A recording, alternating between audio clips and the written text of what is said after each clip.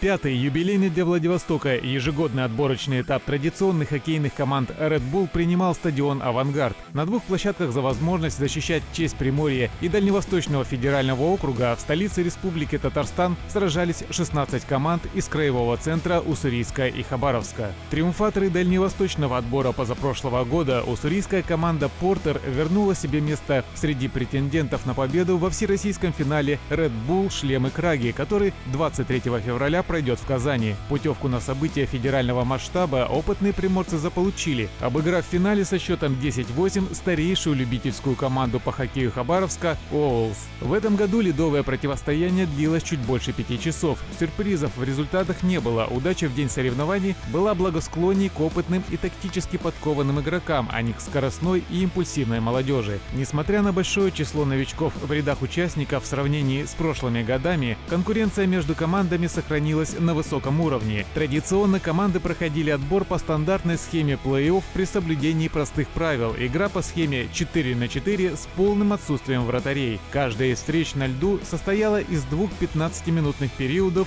с возможностью добавления дополнительного времени до первого забитого гола. Финальному матчу отбора действительно было приковано максимум внимания. Опытные соперники Портер и Совы уже встречались на Red Bull шлемы Краги два года назад, и тогда их ледовый поединок также завершился в пользу уссурийцев. Однако в этом году Уоллс подняли планку и уступили приморцам не в полуфинале, а в финале, проиграв сопернику со счетом 8-10 и оставшись лишь в одном шаге от победы. В этом сезоне соперниками сильнейших дальневосточников на пути к наградам национального тура станут хоккеисты из Москвы, Санкт-Петербурга, Казани, Екатеринбурга, Воронежа, Новосибирска, Перми, Ярославля и Магнитогорска. Олег Завьялов, Новости спорта на восьмом.